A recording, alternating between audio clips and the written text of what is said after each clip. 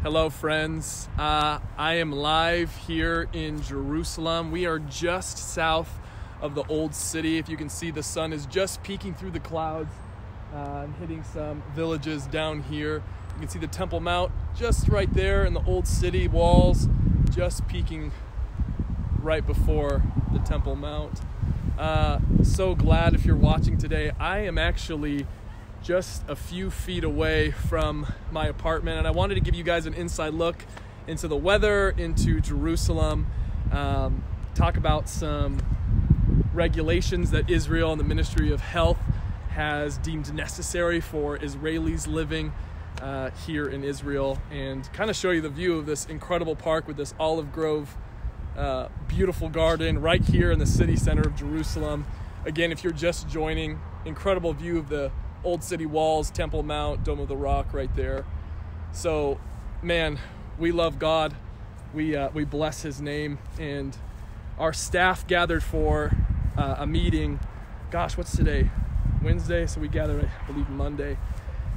And we just talked about some things that we were all feeling about this uh, current situation. And some of us here in Israel are having to quarantine ourselves. In fact, some of the new regulations kind of had us maybe a little bit um, filled with some anticipation, some anxiety, and it was such a time of encouragement from each and every individual to see where their heart was, but to know that their trust is in the Lord. And uh, I, I've been amazed at something as simple as a virus that a lot of people go through yearly, maybe not this specific one, externally has separated us, um, but internally and spiritually, it's actually binding us together. Where, where even the rest of the world is finding unity in something that is externally pushing them. I'm just shocked by uh, some things. My friend who lives in Peru, funny enough, videoed people shouting and singing from their balconies. You've probably seen similar videos in Italy where they unified in something that was actually, they unified themselves in something that was actually a hardship.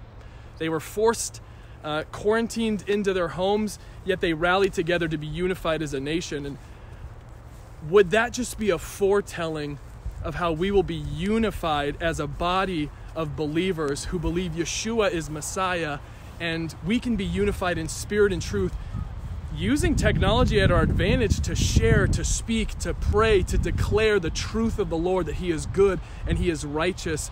Um, that we will dwell in the shadow of the Almighty, that no disease or sickness uh, will bring death or calamity upon us because we have life and life forever and ever and ever. So I just declare that over you. And that was kind of the exciting thing that we were unified in technology we were on a Zoom call with our whole team praying and kind of being vulnerable about where we were emotionally. It was a beautiful time that we don't actually get together that often because we're such a remote team.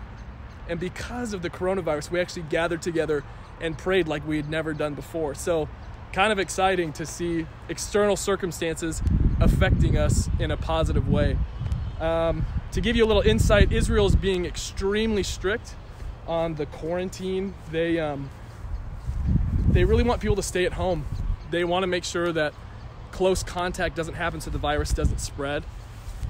It's important for us to listen to what the Israeli government is dictating and kind of follow along. So we have been working remote, me and my wife. Our kids are not allowed to go to school.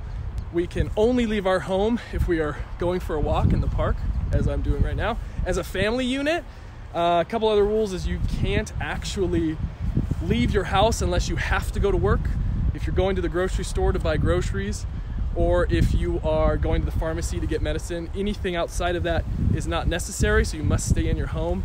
And I'm sure many people around the world watching, you might already be uh, going through um, similar circumstances of quarantining. So we're alongside of you and uh, just wanted to give you a little bit of, I don't know, insight into what the Ministry of Health is uh, dictating for us. And you can all obviously look this up online if you want to see the exact rules and regulations. Um, I want you to know that our team got together and we're praying. We're praying heavily for uh, the ministry, for the leadership here, for ministry leaders who are going to be and are affected by this, having to push their teams remote or not have so many people in the office working. We, uh, we invite you to pray with us. Would you pray with us to uh, see a unified body, that they would encourage each other, they would be using technology to reach out and to send scripture and just be encouraging. I, it's been so encouraging for me to have that sent my way from different groups that I'm a part of. So, um, thank you so much, Jack. I see you there praying from Tennessee. So awesome. Um, I don't know. Let's just pray right now, if you guys wouldn't mind. I want to just lift up Israel and the rest of the world to see unity spring forth um, from maybe what the enemy's trying to separate us that we would actually be unified so unified so father i just bless your name i thank you for this beautiful day um, i thank you that we get to pray in unison using technology right now for those that are watching live or for those that watch later god that our earnest heart would say would you unify us? Would what was what, what is being potentially meant for evil is actually turned for good. What's trying to divide is actually unifying us in yeshua's name. Father i pray for any heart in any life that is listening to this that is feeling separated or alone. Maybe you live in your own apartment. God would you fill their heart with your spirit your truth and, and your word that the, the comforter would come into their life into their apartment into their house wherever they might find themselves um, and be filled with the joy of the Lord, be filled with uh, hope uh, and faith that we're all going to make it through this and that we would be a, a, stronger body even at the end. So, God, thank you for the ministry leaders who are pressing forward. Would you give them vision to uh, be able to speak to their uh, teams? They would be able to have faith to speak to those that are under them. God, we pray for the ministry of interior that they would just be filled with wisdom. Uh, we pray for our leadership and our authority that you would just fill them with um, as much insight as they need to make the right decisions and the, and the right steps for this society, for Israel, uh, to be protected. But God, we know that you are the Almighty One. You are the Creator of all. That you're you are the number one protector of Israel, and we bless your name for it. So, Father. Thank you for prayer. Thank you for your word. And we thank you for truth. We love you and praise you in Yeshua's name. Amen. All right, guys. So glad you joined me.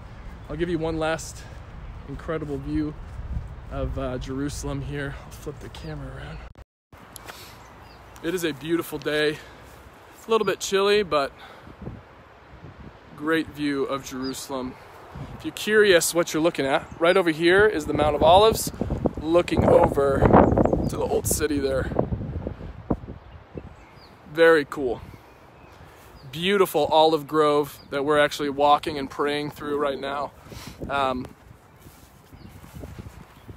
sun's just going down. It's currently 4.05 p.m. Thank you so much, Sue, for praying with us. Rebecca Long, thank you so much for praying. All right, family, thanks so much for joining. Can't wait to see you on another live video watching.